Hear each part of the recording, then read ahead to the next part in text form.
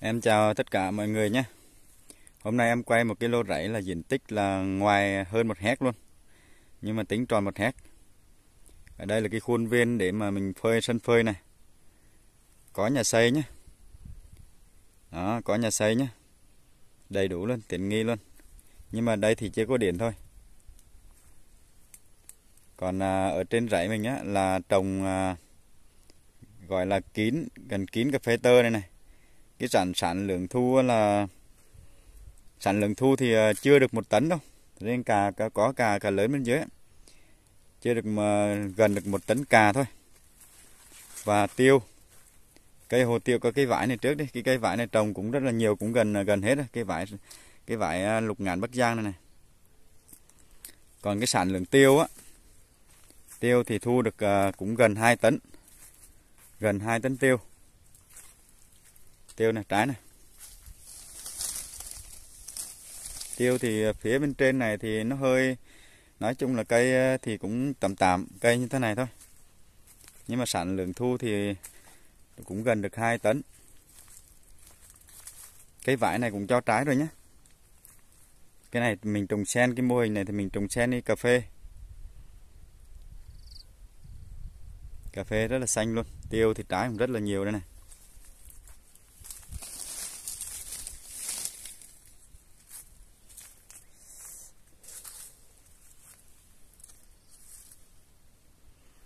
Cái ờ, cái vị trí rẫy này á, lô rẫy này á là đây ở đây nó thuộc thôn năm Trường Xuân nhưng mà nó giáp ranh với lại à, à, xã Nâm Nời Giang. Xã Nâm Nời Giang từ xã ủy ban xã Nâm Nời Giang đi vào đây là đúng 7 cây số nhé đường nhựa đường bê tông rồi một ít đường cấp phối. Đường xã thì cũng rất là thuận tiện luôn.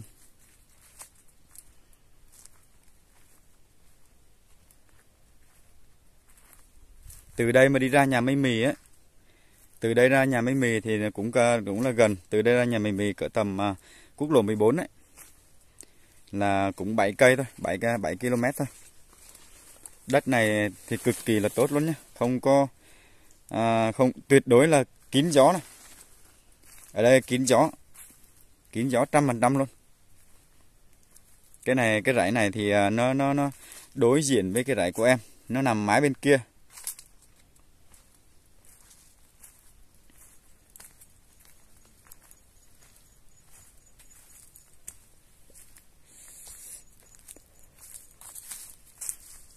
Giá chủ nhà đang đưa ra cho kilo rẫy hơn một hecta này á, tính tròn một hecta này á, thì là 1 tỷ 150 triệu nhá, còn thương lượng. Chủ nhà vẫn có bớt lộc, bớt lá cho cho chủ đất mới để canh tác. Đây, tiêu dưới này thì trái rất là nhiều luôn.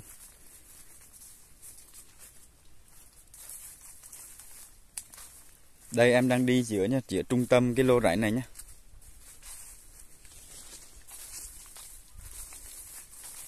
Anh chị nào quan tâm cái lô rải này thì à, liên hệ với em nhé. 0986 053 153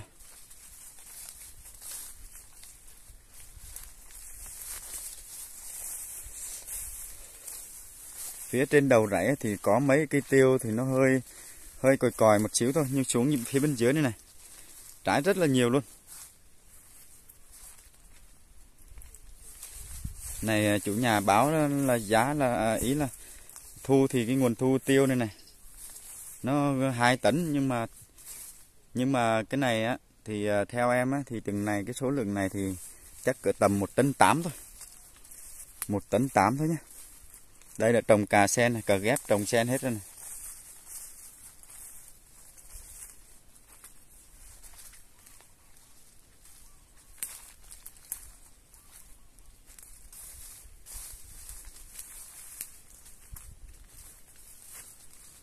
Vì thế đất của mình rất là thoải thôi, chứ không có dốc.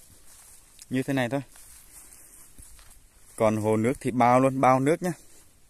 Hồ thì mênh mông. Bây giờ em đang trên đường đi xuống đây. Đang đi trên đường đi xuống kia cái hồ.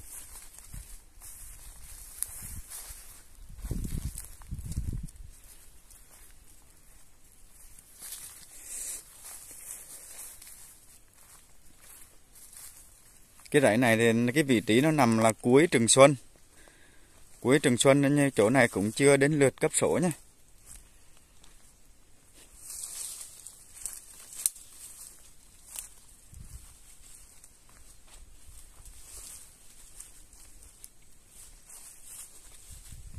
Đây là cái hồ này, cái hồ rất là lớn luôn. Đấy, cái hồ của mình là bà qua cái chân cái rẫy bên kia luôn.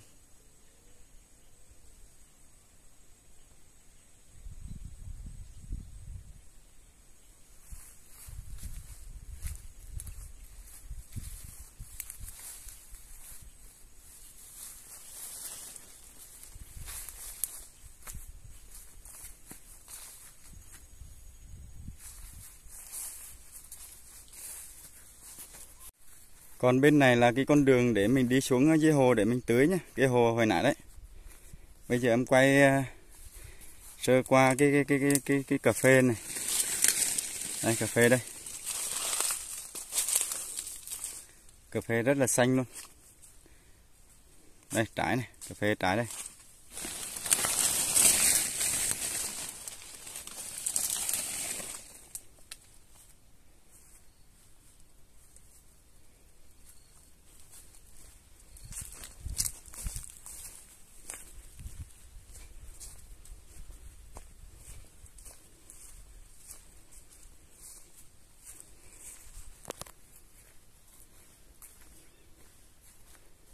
Đây cà phê đây này